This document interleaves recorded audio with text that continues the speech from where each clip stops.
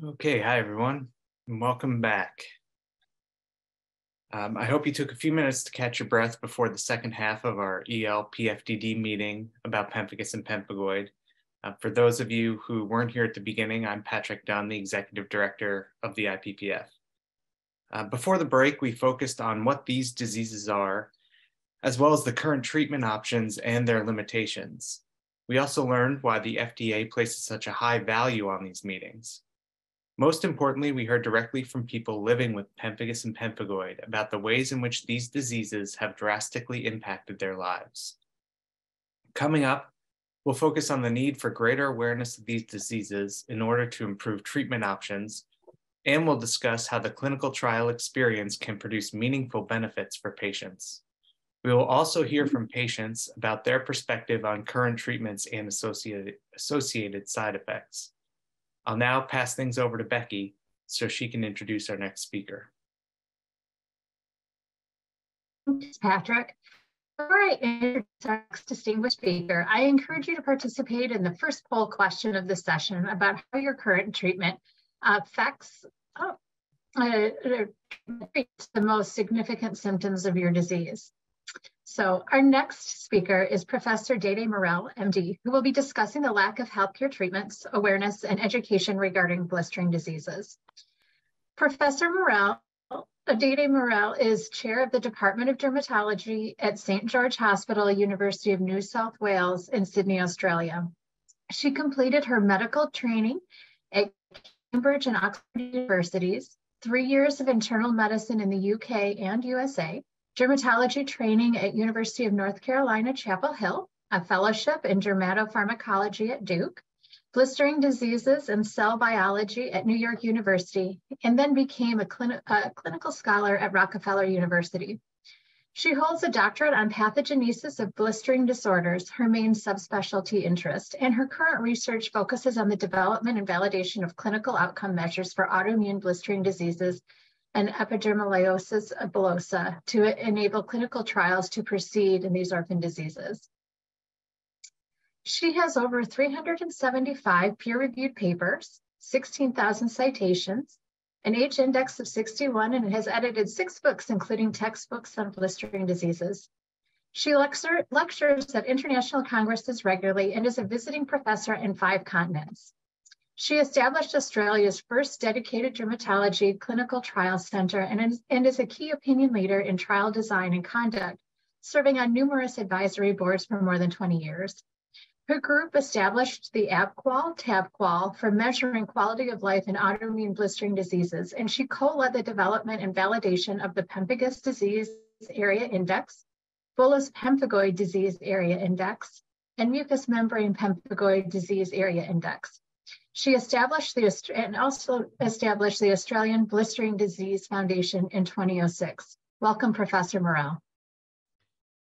Thank you very much, Becky and Patrick, for that amazing, um, very flattering introduction. Uh, I will try to share my screen. Here we go. Uh, it was very, uh, it's six o'clock in the morning here in Sydney. Um, can you hear me okay? Yes, we can. Yeah, uh, and it's a pleasure to be joining you. Um, I just joined and heard some of the patients expressing extremely well uh, what the frustrations are like as a person suffering from these autoimmune blistering diseases. My task in the next 15 minutes is to talk to you about the lack of treatments, lack of awareness, and lack of education regarding these rare autoimmune blistering diseases. These are my disclosures, many of which you just mentioned. This is where I'm speaking to you from, just across the other side of the Pacific Ocean. Now, these diseases, um, as you will be aware, are rare but potentially fatal. And among uh, dermatologic diseases, apart from melanoma, uh, these and epidermolysis bullosa are the diseases that we're dealing with, which can kill our patients. They're not just, as the last patient mentioned, just a little skin disease. Uh, these diseases attack and destroy the skin as well as the internal mucous membranes. And we uh, clinicians have divided them up into these uh, confusing Greek names, uh, pemphigus and pemphigoid. And pemphigus um, isn't just one or two little blisters on the skin. It can extremely uh, disfigure the patient as well as cause much pain. The pemphigus is in the outer part of the skin, but can involve the outer parts of the mucous membranes as well. Whilst the pemphigoid, if you like to think of it as one ending in D because it's deep, and one ending in S because it's superficial. Uh, the deeper ones uh, usually involve the mucous membranes, or they attack the skin in a very widespread sense with deep blisters, as the last patient nicely showed in her presentation. And the deeper ones can also involve some that cause significant scarring, such as the mucous membrane pemphigoid, epidermolysis bullosa acquisita, called EBA for short, and linear IgA dermatosis, or LAD for short. So, starting with the two main ones, pemphigus, it's a disease which, whilst in the United States and here in Australia is relatively rare, is a disease which occurs along the old trading routes of the Silk Road, meaning from China through the Middle East all the way to the old port of Venice. And so people who are from those countries uh, get this disease uh, probably because of various genetic predispositions as well as potentially some environmental triggers. And they have since migrated all over the world. Uh, so it involves Jewish patients, uh, Islamic patients who've moved from Iran, from India, um, right along that part of the world to the rest of the world. And a lot of my patients in my clinics are migrants who've moved to Australia and now Australians, or even people from Italy, from Greece, from Turkey, uh, people who may not even realize that they have ancestry from this part of the world. The commonest part of this pemphigus is called pemphigus vulgaris, and a less common one, but which is endemic in certain countries, is pemphigus foliaceus. And whilst the disease attacks people of working age, it can also attack uh, children and also even neonates born to mothers with pemphigus. The disease, as uh, shown here, and with permission of one of my patients, is very severe, especially if not recognized, which is quite common because of its rarity, and still to this day has a mortality of up to 10%. Without the dreaded steroids, the mortality used to be 90%, and nowadays many patients are dying from complications of this treatment. Because until recently, when rituximab was approved as the first FDA approved treatment, uh, and in many countries around the world, it still isn't officially approved or available.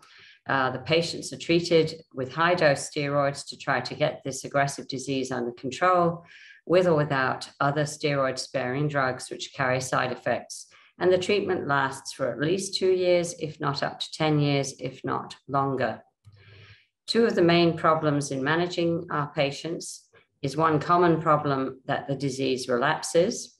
And this is why patients end up having to have longer term cumulative doses of steroids and therefore more side effects, as mentioned by the last patient suffering from diabetes or a rarer problem, recalcitrant pemphigus, which doesn't even respond to these very high doses of steroids. And in the past, those were the group of patients which we were giving higher doses of immunosuppressive drugs to, intravenous immunoglobulin or rituximab. Um, but as you'll see soon, the management is starting to improve. Then the uh, other disease, the deep uh, blistering disease category, we have uh, the more common disease, bullous pemphigoid, and we have this uh, awful disease, mucous membrane pemphigoid, which can cause blindness. And because it's quite insidious in onset, often optometrists and ophthalmologists even don't realize uh, that the patient has such a severe disease and are giving them eye drops. And gradually, the patient's eyes are becoming scarred irreversibly. It can attack the mouth, it can go down the larynx and cause a hoarse voice and cough, uh, the esophagus and give rise to difficulty swallowing and excuse the photographs, but uh, some of these patients can have very painful involvement of their genitalia and anal areas. So, as to the treatments, um, we need better treatments, just like uh, other diseases in medicine.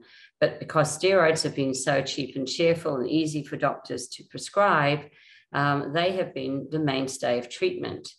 And despite us getting together for our meetings, um, there has been no international consensus or agreement on how to use these steroids, and it's been mainly based on clinical experience in different countries. but often patients are given 1 to 1.5 milligrams per kilogram per day. And in the Middle East, where they say these diseases are more severe, they're often given higher doses than that. It's then given continuously, which can be for many weeks until these diseases uh, stop developing new blisters. And then the, the prednisone needs to be slowly tapered because otherwise, if you just give them a taper that doctors are used to giving for allergies over three weeks, the poor patient keeps relapsing. As a result of this, while successful in controlling the disease, uh, the poor patient is developing many side effects, including weight gain, type 2 diabetes, uh, hypertension, uh, a moon face, and other uh, bad side effects. Invisible side effects uh, can include wasting of the bones, leading to osteoporosis, falls, and fractures. Uh, another uh, significant side effect is infections because the patient is becoming immunosuppressed with this treatment and at the same time more sugary and attractive to bugs. One of the problems with the skin is that the infections can look like the primary disease that the doctor is treating. So, unless the doctor is very experienced, they wouldn't recognize that this disease here was an infection rather than a relapse of the patient's pemphigus. And it can cause blisters in the mouth with herpes, and higher doses of immunosuppressants would then allow that infection to spread. Even little tiny pustules on the skin can be something as significant as nocardia or cryptococcus something which can cause then meningitis or severe lung disease. These steroid side effects are associated with older age, something which our patients have when they develop these diseases. Higher initial doses, which are required to control the disease. And guess what? Prolonged administration, which uh, we have to do, or else the disease relapses quite some time ago, I got together with a team of likewise interested people, including uh, the previous founder of the IPPF and Vicky Werth, who will be speaking after me from the University of Pennsylvania, uh, to evaluate the literature uh, in an evidence-based fashion using the Cochrane collaboration format. It was quite shocking to realize that at that time, around 2006, there were only 11 randomized controlled trials conducted in pemphigus, none of which were sponsored by a pharma, and only of just over 400 patients included in these trials. It wasn't until Pascal Joly's group in France, the group Boule independently, separate from pharma, uh, created uh, this publication, which has been uh, pivotal in the change of management for pemphigus, and it was published in The Lancet in 2017. Uh, they were the first to observe and publish in the New England Journal of Medicine that rituximab uh, could re result in long-term uh, suppression of the disease. And they decided to do this randomized pivotal trial uh, in new pa patients with new onset pemphigus vulgaris. And they were randomized to the standard treatment of 1 to 1.5 milligram per kilo per day of prednisone, tapered over the usual 12 to 18 months versus the new protocol of giving the patients infusions of rituximab 1,000 milligrams twice, day zero and day 14, along with half the dose of 0.5 or 1 milligram per kilo, depending on disease extent, for only three to six months.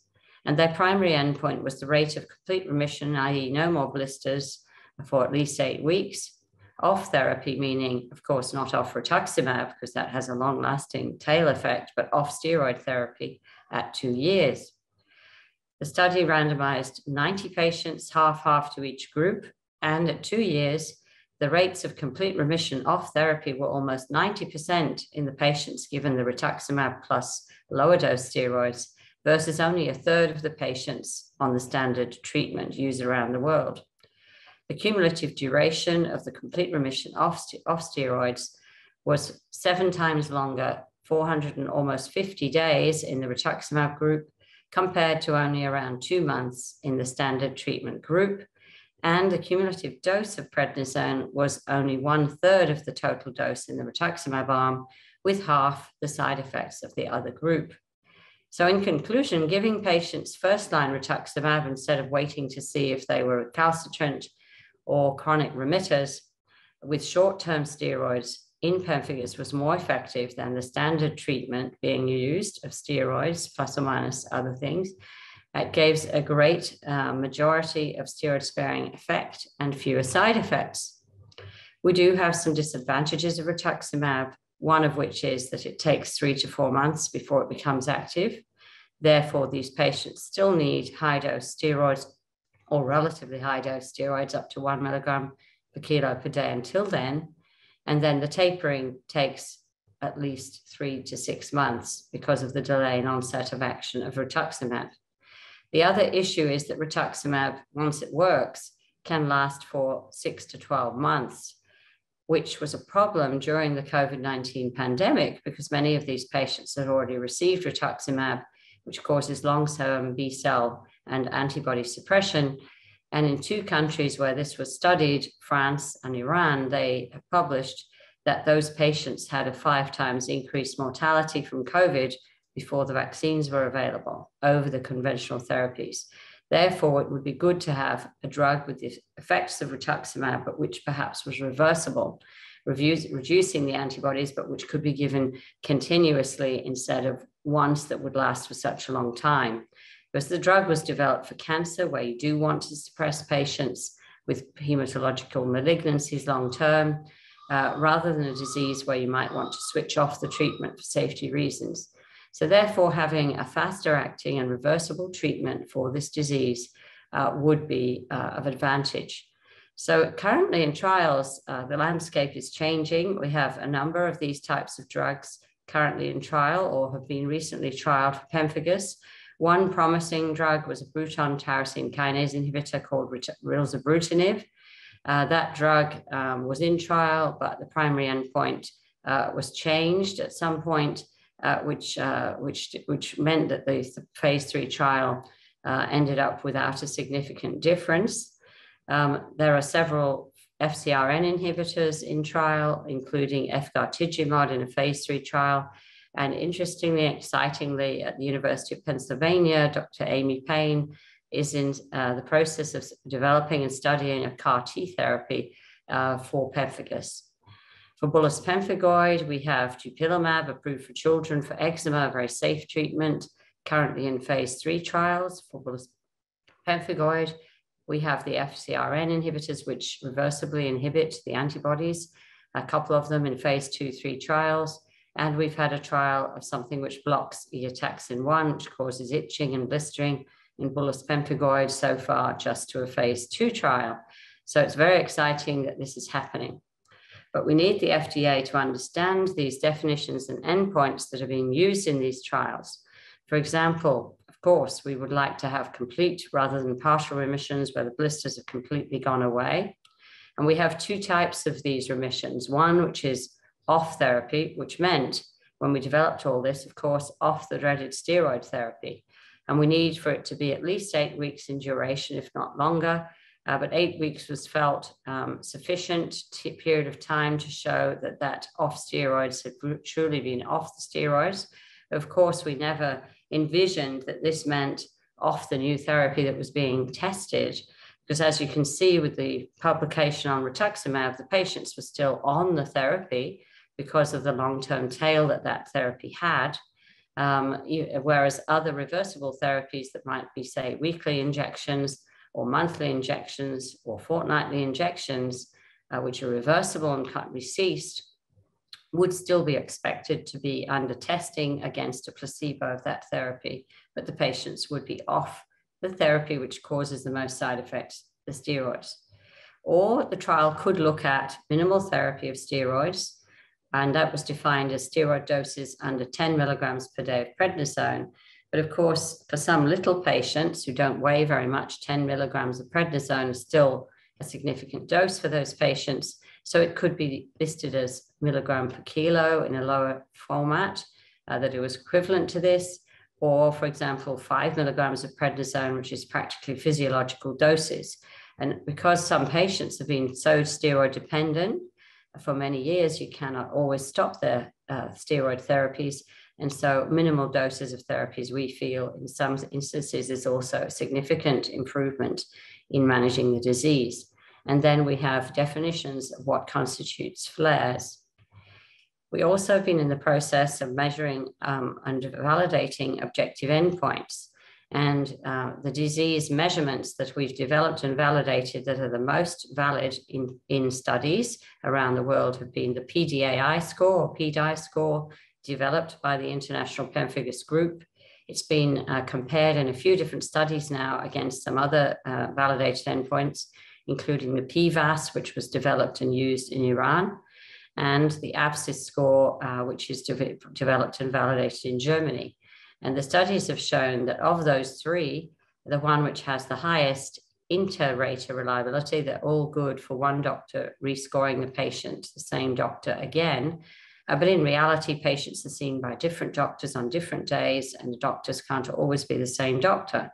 So that's why this score, the PDI score, uh, is the most used in the trials. Similarly, uh, we developed another score for bullous pemphigoid called BPDAI, and that has also been shown to be much more valid and reliable with these uh, important measurements. Uh, FDA is very uh, used to scoring skin diseases with something called an Investigator Global Assessment Score, IGA, where patients are scored out of zero to four, five different points, and where four is severe and zero is clear. Uh, most of those studies require the patients to go from a three or a four, meaning a moderate to severe, down to a zero or a one. Sometimes they're allowed to go to a two.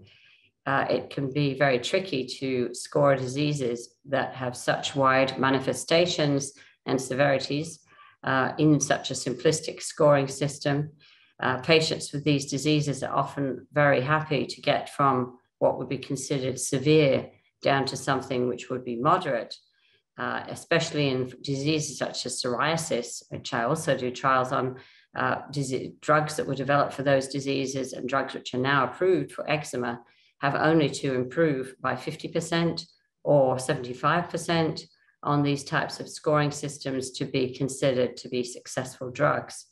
So we are in the process of seeing whether IGA scores can truly be as reliable and valid as these other highly validated scores, but we have studied something very similar on a zero to 10 scale called Physician Global Assessment in these studies, and they were found to be far less reliable than these disease scoring uh, tools. These tools that we have are very good at measuring both skin and mucous membranes, and the validation that they have in something called the Cosmin analysis system, which is internationally recognized, are far better than those developed for psoriasis called PASI and eczema called EASI, which have been developed and are approved and used uh, by the FDA. So we would appreciate consideration of these trial scores in our studies. The other thing is the lack of awareness about these diseases, which was touched on by our most recent patient. Because these diseases are rare, people don't appreciate what they are. Uh, the patients, and we studied and published on this, are highly stigmatized, as the patient was saying, that people assume it's infectious, walk away from the patient. Patients are scared to go outside for comments that they receive. The other problem is delay in diagnosis because when something starts in the mouth, the patient goes off to the dentist. And many dentists have last heard of these diseases when they were in dental school and they think it's gingivitis. And it can be a long time before the penny drops and they get to any uh, doctors or specialists who might recognize it. The other problem is if it starts on the face, is even dermatologists think that this is a skin cancer uh, because they're used to seeing crusty lesions on the face being skin cancers and might proceed to cut that whole thing out, put a skin graft on it before it relapses. And then they think, oh, maybe it's something else. Uh, or as you can see, this poor lady here is quite young, um, who's got alopecia and this pustular disease, which is sort of pemphigus in her scalp, pemphigus foliaceus, the so-called mild form of pemphigus. Uh-uh. And you can imagine being 21 years old and having to go around looking like that. Uh, the patients, um, once they know they have the diseases, might find there's only one or two centers in their country where there are doctors specializing in the disease, so that's a problem for them getting travel to these centres. We're lucky in Australia that the government funds travel for patients with rare diseases who have to get to such centres. Other studies we've done uh, about the loss of jobs and income, especially working age patients or young people who get these diseases, can be very difficult because they can't go to work or they or they get stigmatized going to work and it affects their quality of life, which we can measure scientifically and document. And then, of course, there's the complications of treatment, requirements to go into take days off work to go for infusions. So even if the patient looks normal, they got to explain to someone why they have to take the day off to go to a hospital, for example, for a rituximab infusion. When wouldn't it be nice if they could just self inject themselves with something into their tummy at home, like people do with dupilumab or other treatments? And so we need more education, both of physicians and dentists and medical students and people in the community to understand these diseases. So here's some examples of things which could easily be and have been mistaken for infections when this is pemphigus foliaceus. Um, patients undergoing cancer treatments. This patient of mine had laryngeal cancer and he'd had surgery, a laryngectomy, and was receiving radiotherapy to stop the tumor from spreading. And this developed, and they thought for ages that it was an infection, gave him numerous antibiotics, but it was uh, radiation induced pemphigus. It went not only on his skin, but right in his mouth and down his throat, which they kept thinking was his cancer coming back. Rituximab saved that patient. Uh, pemphigus foliaceus, which, as we as dermatologists get frustrated that both pharma and other authorities uh, only want to license the treatments for pemphigus foliaceus purely because it occurs in the mouth, usually that that's so-called the severe disease, whereas we encounter these patients with this disease uh, causing alopecia, being on the face where the patient can't hide the disease, or spreading all over the skin where the poor patient has turned up at emergency only to be told, you've got dirty skin, go home and have a wash. Or being told it's psoriasis and put you in a light box, and it's known that UV light flares up the disease. We also have these patients who may have what appears to be limited extent disease, but which causes severe scars. And this is one of these rarer diseases called epidermolysis bullosa acquisita. And this often attacks the eyes, the throat, the genitalia, and internal organs, as well as the skin. So, what's been fortunate by us being able to get together uh, at our own uh, cost initially, and now more and more, thankfully, enabled by pharma, is that those of us who are passionate about these diseases and these patients are growing steadily and have been able, thanks to the IPPF, to get together um, because we need we needed these uniform outcome measures. We needed these validated scoring systems to proceed. We've been able to publish these monographs together that bring out more awareness of the disease. Uh, we've published clinical cases together. We've published books that comprehensively look at the causes, the clinical manifestations, how to measure the diseases, and how to treat the diseases. So there's more awareness. Uh, but we do need your help, and we appreciate so much the FDA being interested today in listening to us to improve the awareness of the disease severity, uh, to use our validated disease specific measurements that we've spent the last 15 years developing and validating uh, without assistance from pharma um, and these can develop, uh, these can measure scientifically the disease severity of the disease and the responses to the treatment better than IGA scores, in my humble opinion. With these disease scores can uh, separate the disease activity, which is reversible from the scarring damage, uh, which is left behind by these diseases, and which we think new drugs will not be able to influence and IGA scores may include that damage and make it more difficult for us to demonstrate that our treatments are working for these diseases in patients. And we need um, FDA to listen to us about these complete remissions or partial remissions on different doses of minimal steroid therapy, or hopefully without steroids, but with our new therapies that are under clinical trials. So I'll close there and hope I haven't run over and be happy to take some questions. Thank you. Thank you so much, uh, uh, Dr. Murrell, for highlighting the lack of treatments, awareness, and education in autoimmune bullous diseases. At this time, I'm going to ask uh, our community to take a moment to respond to our next poll. so, um, as Dr. Murrell's presentation really emphasized, these diseases are not taken seriously at all. And uh, together, we really must leverage the data that we have about these diseases to create awareness and education around the lack of treatment options for patients. We've heard that these diseases can, can be potentially fatal and that the mortality rate can be as high as 10%. Uh, these disease, uh, the disease has a habit of relapsing, and some patients uh, may never even respond to treatments. The treatment side effects can cause infections, uh, and most cause delays in patients' improvement, leading to poor quality of life. Along with validated measures, our patient experiences will help inform researchers about the physical and psychological impacts of these conditions to help guide investigations into new treatments. Thank you again, Dr. Murrell, and we're going to move on to our next speaker, and I'm going to bring back uh, Becky to, uh, to introduce her.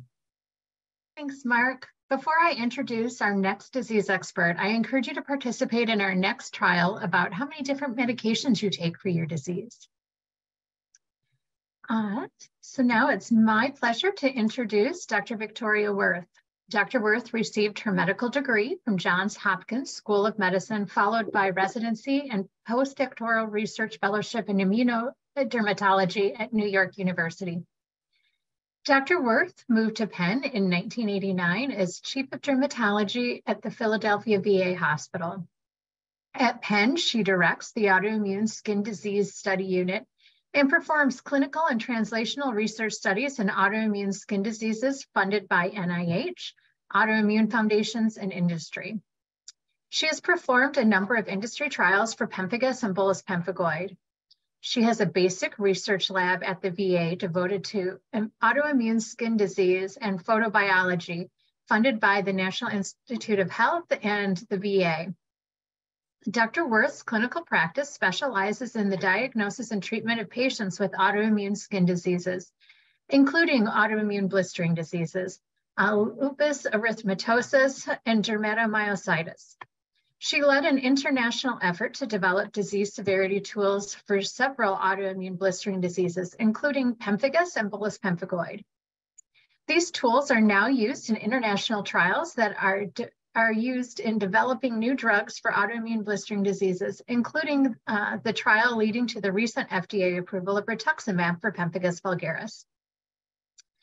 Dr. Werth has also performed studies to determine the impact of bullous diseases on quality of life. Her research laboratory has determined the heterogeneity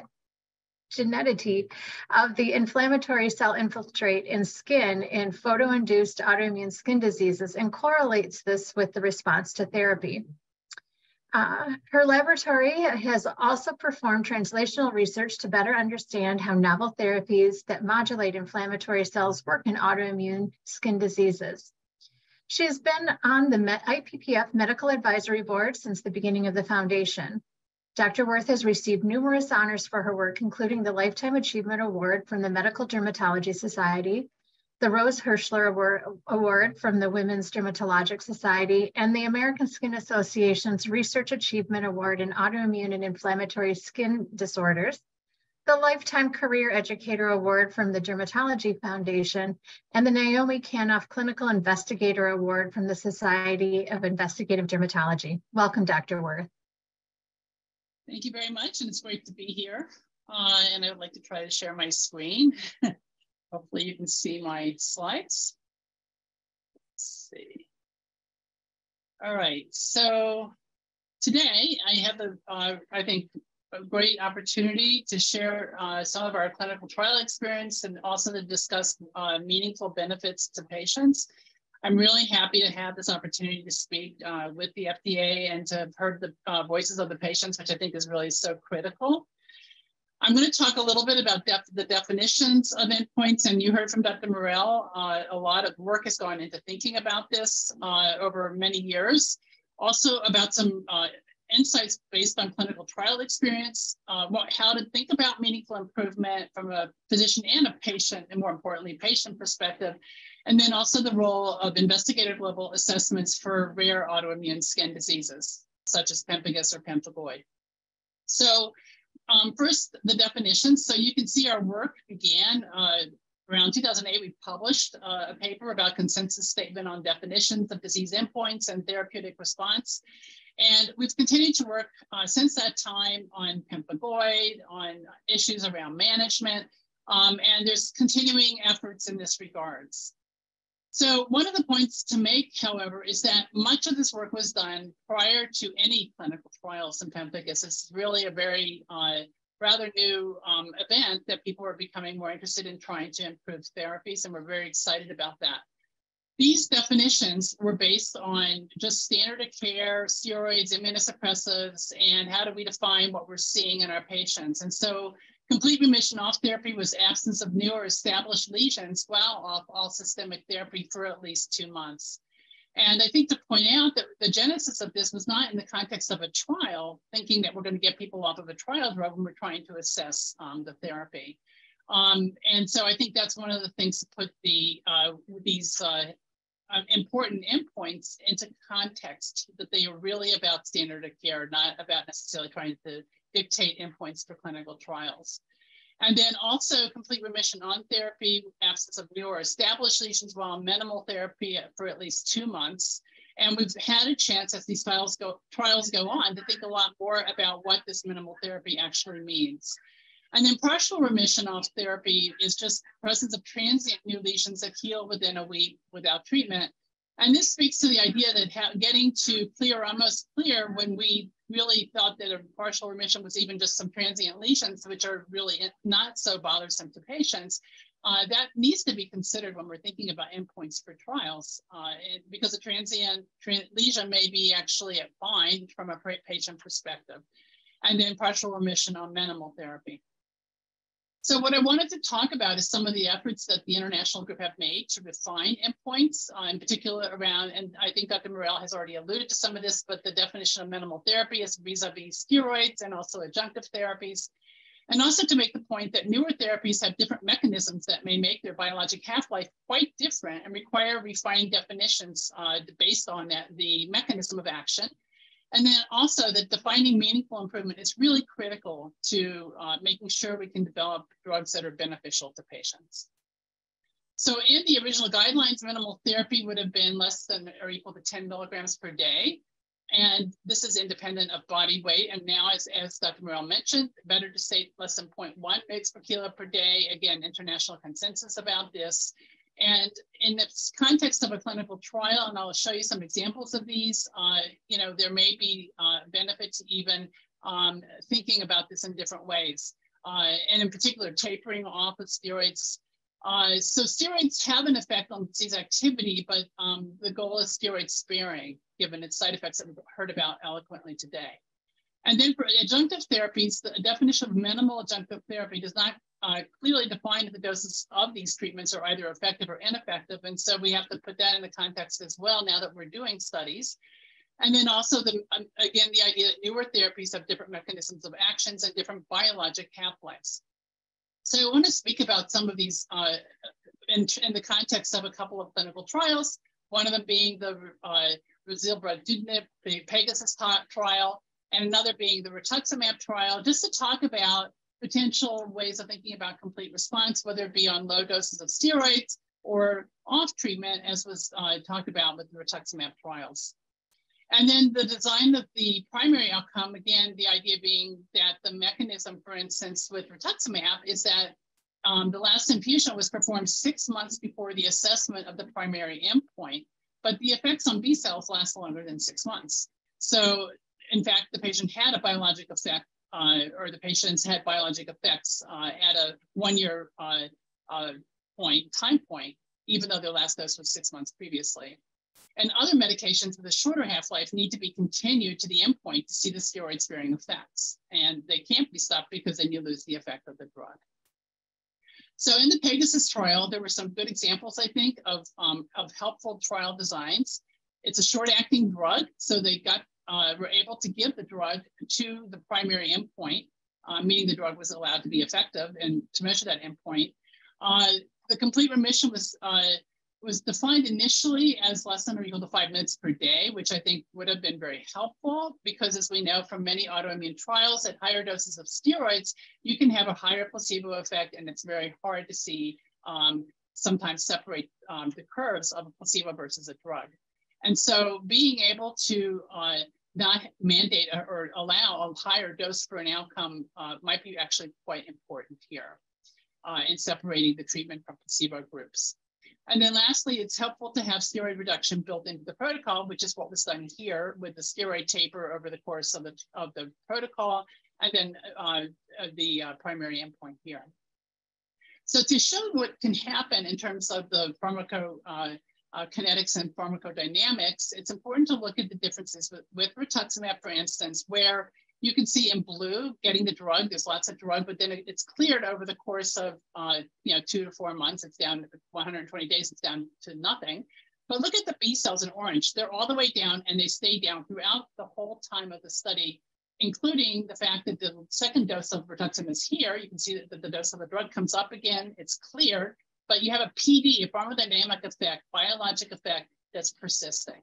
So the design of a trial with a drug like this is going to have to be take that into account. However, if you look at F, uh, which is a FcRn antibody, blocks the receptor. Here you can see each of these spikes here is when they're getting a, the drug, and then it's rapidly cleared. And you can really see this in the fact that um, when the PK, again, the pharmacokinetics, uh, very rapidly you lose um, the drug as when you stop getting the drug. And similarly, the pharmacodynamics, the biologic effect reverses. It goes away very, very quickly. So if you have to stop the drug here and wait two or three months to get an endpoint, you're not going to see the drug effect because it's gone. Here, it's still here. So it's important to think about that as we design our trials um, and think about uh, whether the drug can be continued in order to see effects. Now, in the pemphigus study, uh, which was a very interesting study, patients had severe pemphigus. They were on a lot of prednisone and they either got uh, rituximab and then uh, placebo that included um, um, CellCept, mycophenolate mofetil, or the reverse, where uh, the, and here they got a dummy, rituximab patients got a dummy MMF, and here a dummy rituximab. So it was a double, what's called a double blind, double dummy active comparator superiority trial. And you can see the last dose was here at uh, day 168 and then uh, the second dose at day 182, and the endpoints at week 52. And here you can see the tapering of the steroids, which again is extremely important. So what happened? So the complete response rate was, you can see here after the first infusion, it was probably around 30%. And then after the second, it was around 40%. And that was sustained to the end of the trial at week 52. If you look at um, the placebo arm, clearly um, there was not much of a, a complete response and uh, or complete remission. And so this was a helpful study to get an idea of how many patients can accomplish uh, a, a, sustained complete remission. And this is just a different way of showing 40% versus 9.5% for the um, placebo MMF treated group. Well, what about the B cells in this particular study? So that's uh, right here in blue. You can see they came down quickly and they stayed down for the whole year. And uh, and so basically, uh, and this is looking at the B cells uh, that you know did not decrease to nearly the same extent in the control placebo arm. So again, the biologic effects persist. So it becomes important, I think, to think about meaningful improvement in this context. And so, as I showed you, 40% of the patients um, had the sustained remission endpoint. Well, what about what did the clinicians think? What was the clinician global impression of change from baseline to week 52? And here you can see that 87.2% of the clinicians thought that the patients were very much improved relative to 57.1% in the placebo group. So that's a, a significant difference. And also to point out uh, that it's much higher than the 40% sustained complete remission. So uh, the physicians were happy. Well, what about the patients? Well, 80.9% thought they were very much improved as well. And uh, in the control group, the 39.3% thought they were very much improved. So again, a very big difference between the treatment arm and the um, placebo arm of this particular trial. So when we think about meaningful improvement, what we're showing here is that um, both from a clinician perspective with 87.2% with rituximab versus 57.1 on placebo, uh, feeling uh, in, uh, greatly improved. Uh, and from a patient perspective, similarly, there, there's a, a, a quite a big improvement, even though only 40% of patients had sustained complete remission off treatment. But again, pointing out that they still had the biologic effect of the drug. And therefore, patients felt very much improved despite not having sustained complete response. And I think this um, speaks to the importance of having an endpoint that can really correlate um, with the patient perspective. Here's another study that uh, looking at pemphigus uh, with the PDAI, and you can see that these are patients who, um, you know, still have uh, blisters and erosions here because they're not zero. They're they're in the uh, they still have you know real disease, but their quality of life scores are really clustered um, low for many patients, and um, this is considered to be that they're they're really in a very good place that they very rarely are bothered by their disease. In this study, where they looked at the P BPDI, uh, and that's an outcome measure for bullous pemphigoid uh, that Dr. Murrell and I and many of the international uh, uh, members worked on this very carefully.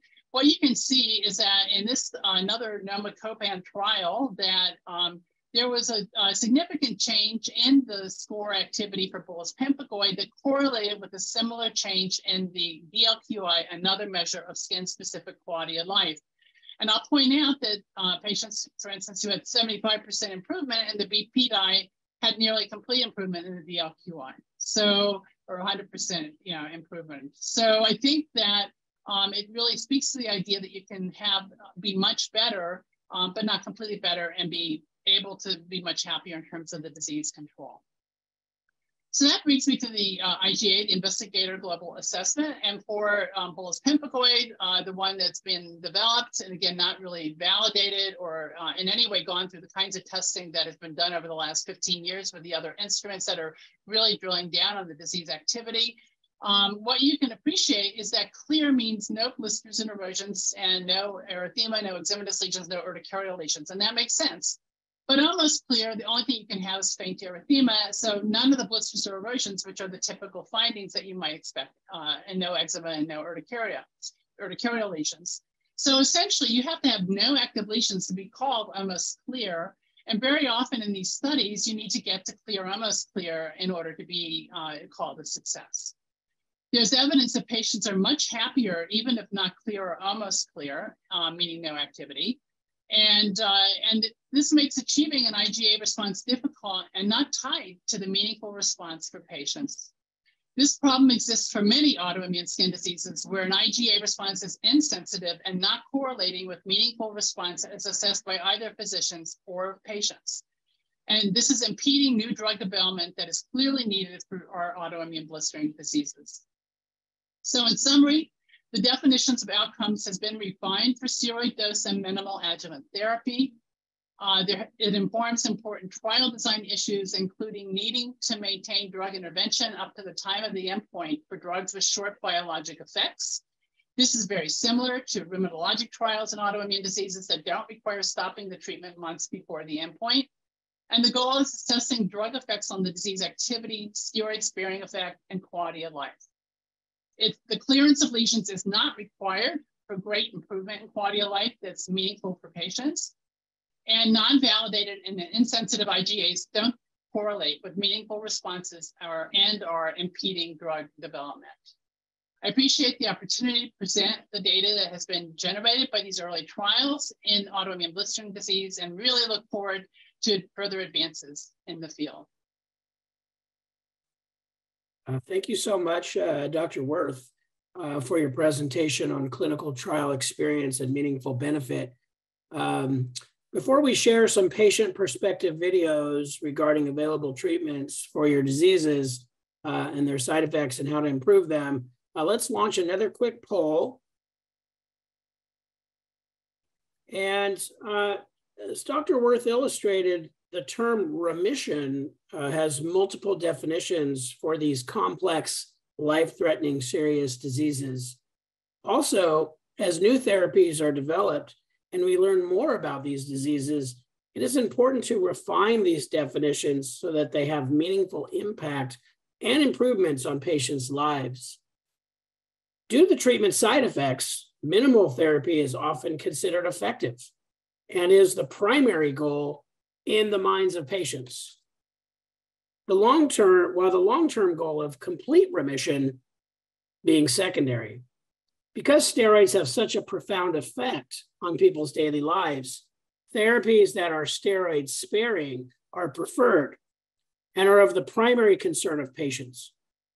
We have heard that treatments like rituximab take a while to take effect, and these are prolonged and have uh, and there are prolonged effects over time. Yet, only 40% had uh, sustained complete remission off treatment. And patients felt that they felt very much improved despite not, not having sustained complete remission. This illustrates that therapies don't have to be perfect. They just need to provide meaningful benefit to the person's quality of life. We have sensitive, validated assessments and measurement tools that already demonstrate this. So any new tools need to take uh, the patient's perspective on what's most important to them into account. We'll now share some patient perspective videos regarding their disease treatments, their side effects, and how they can be improved.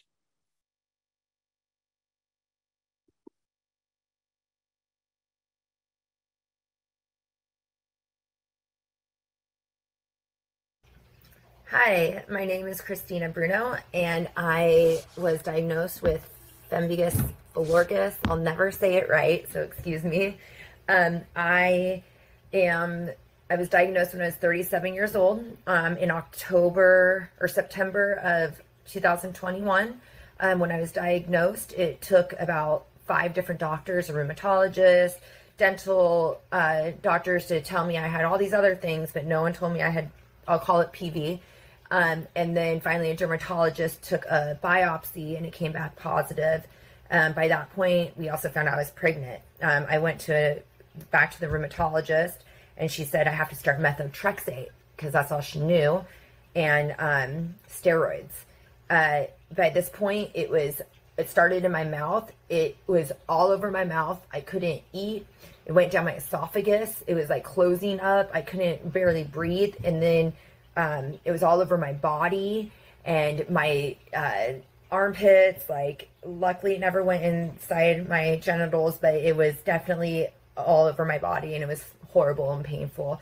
Um, I ended up losing the baby, and but I also ended up finding Dr. Grando, and he said, "Do not take the methotrexate." He started me with 150 milligrams of prednisone, and um, we applied for the Rituxan and IVIG. The prednisone was the worst experience of my life.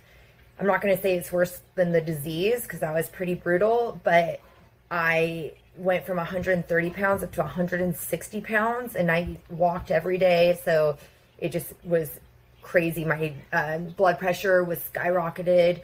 Um, I lost my hair. Um, not all of it because I'm Italian, but a lot of it. It was I wish there was something to do besides prednisone because that was very hard to go through. Um, once we started the Rituxan, I did 10 rounds of Rituxan, and that I didn't really have too many side effects from that. Uh, I do IVIG every month and now tapering down to every other month. I am now in remission. So it worked, the Rituxan and IVIG.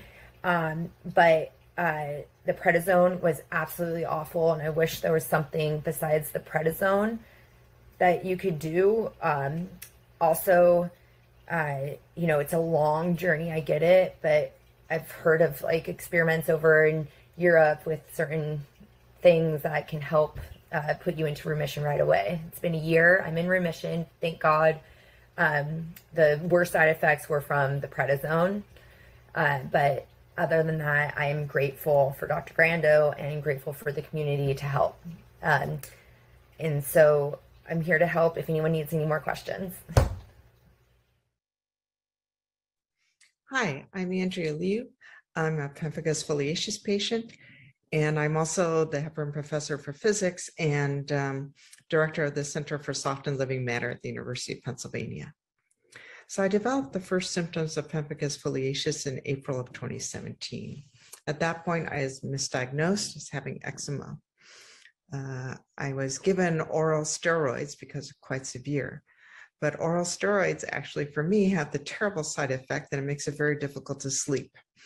And that actually led to very rapid progression of the disease.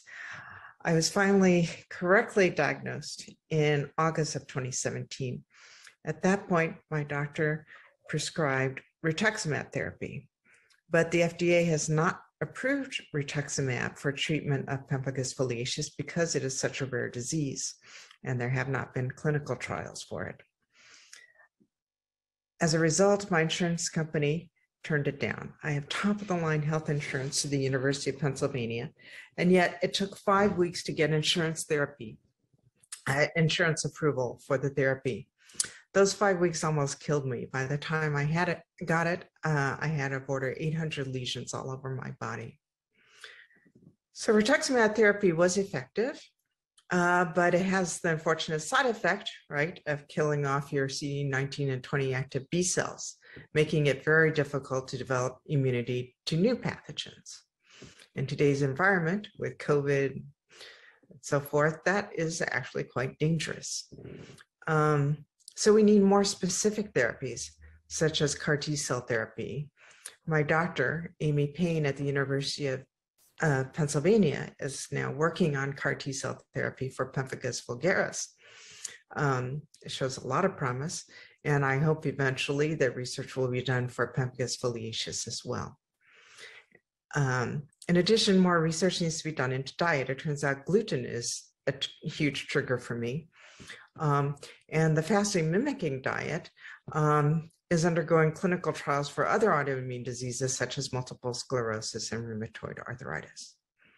I hope that eventually the FDA will um, provide approval um, for pemphigus foliaceus um, for other therapies that are uh, that have far fewer side effects so that patients like me have a much better shot at survival. Thank you. Hi, my name is Mark Noble. I live on the south coast of England. I've had mucous membrane pemphigoid since I was age 36. For me in the beginning, it was quite aggressive. I was put on the, the usual cocktail of drugs. I had cyclophosphamide, um, dapsone, doxycycline. I had large doses of steroids. I was on steroids for uh, over four years. Um, the game changer, I had my first two infusions of rituximab in um, late 2006, and that went some way to calming the disease progression. Um, since then, I've had over 30 operations on my eyes and my airway. Uh, I had an operation a few years ago to uh, unfuse my epiglottis that was uh, sealing my windpipe shut and restricting my breathing. Um, I've been to accident and emergency at least 200 times since then and I still even now despite all of the operations still have to go every few weeks once the pain uh, is unbearable for some uh, for some treatment. Um, in terms of my day-to-day life, I I'm registered as blind. Um, the MMP took my sight, all of my sight in my left eye within six months of my first blister. Uh, in my right eye, I've got cataracts from the steroids, uh, secondary glaucoma. Um, there's quite heavy scarring on uh, on my cornea, so my vision even in that eye is really uh, quite poor. So in, in terms of my day-to-day life, it's obviously taken my independence quite a lot. I, I, I live my life as most visually impaired people would. Um, you know, I don't go out very much. Uh, certainly in my case, I, I avoid going out if the weather's extreme. I don't like the wind. Um, air conditioning is not very great for me. Uh, I can't see anything at night. Um, so that's all quite restrictive. Uh, I had to give up my um, career in IT, um, but on the plus side, my my use, uh, my love of technology means that um, you know the assistive technology helps my life day to day, and and that's a real plus. But really, everything I do from day to day is around managing my airway through the use of a nebulizer, um, keeping my airway clear, and and lubricating my eyes. Um, I I still have to use eye drops every few minutes. Uh, I rarely sleep more than a couple of hours without waking up to uh, to hydrate them as well. Um, but there's a chasm of difference between not being able to see anything at all and um, and you know having rubbish eyesight. So I persevere and hope that the uh, the science comes along with a, a miracle cure. Thanks a lot. Greetings all. My name is Jody Farron and I have PV. This is my video number two. Fast forward to 2009, when I have necessitated by a move to Michigan changed practitioners to Dr. David Paul Fivenson. Hi, Dr. Five. And I come to Dr. Fivenson basically on uh, 180 milligrams per day of prednisone, 200 milligrams twice a day of dapsone, and an unknown amount of CellCept. Continually getting sicker and sicker despite all of the medication. The medication has, uh, the prednisone in particular, has caused me to need uh, very early double cataract surgery for subcapsular cataracts, uh, changed me musculoskeletally, and uh, I developed prednisone psychosis.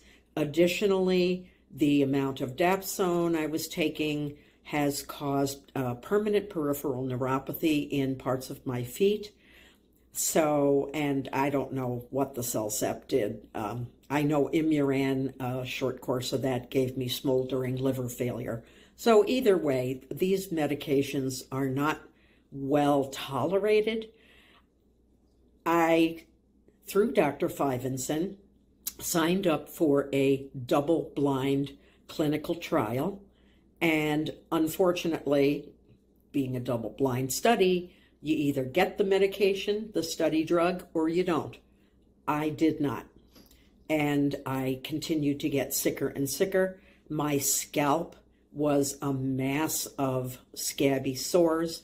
I had to cut my hair, and that was a terrible, terrible mental strain on me. Uh, additionally, um, I had developed cutaneous symptoms at that time where prior to um, the clinical trial, I was only um, really seeing the worst in the mu mucous membranes, but nonetheless, they were terrible. Uh, then Dr. Fivenson attended a conference in England where uh, he learned that a first line of defense for PV over across the pond is infusions of rituximab. Uh, he came home, signed me up through St. Joseph uh, Medical Center in Canton, Michigan. I received uh, a number of treatments, and I have now been in remission for almost seven years. Thank you. Thank you to all of our wonderful speakers who sent in a video for uh, us to, to view. Uh, those are some pretty powerful stories and we appreciate you sharing your impact